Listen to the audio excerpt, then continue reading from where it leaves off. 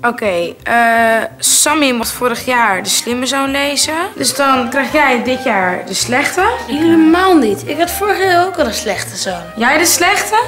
Nee hoor, toen wilde je hem ook al niet. Echt wel. In ieder geval ben ik dit jaar de slimme zoon. Dat heb ik met papa afgesproken. Met papa afgesproken. Sinds wanneer gaat hij over de vier zonen? Jij de slimme? Oké, vooruit. Maar wel goed oefenen. En dan is de brave zoon voor jou. Sam? En wat doe jij dan? Doe ik lekker de slechte.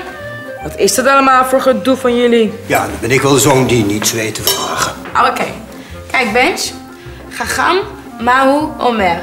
Gagam is net als ons woord goocham. Wat betekent goocham? Slim. Dus er staat... Wat zegt de slimmerik? Wat zegt die slimmerik? Die vraagt... Wat betekent het allemaal? Komen jullie me helpen in de keuken? Mam, wat is er? Waarom huil je? Oh, het is de wierikswortel. Oh.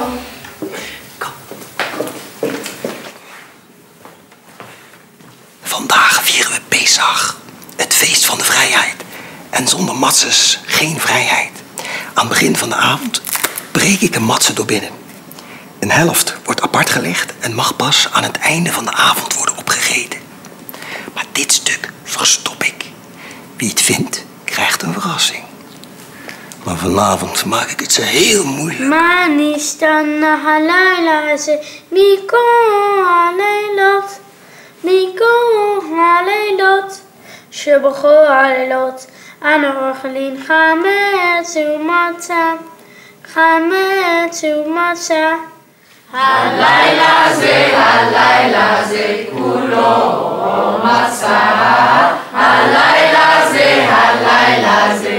홀로